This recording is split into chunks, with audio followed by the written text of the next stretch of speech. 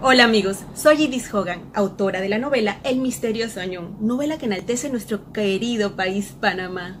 Quiero hacerles una invitación especial al stand del INAC durante la Feria del Libro del 13 al 18 de agosto, este año en particular porque conmemoramos los 500 años de la ciudad de Panamá. No te lo debes perder.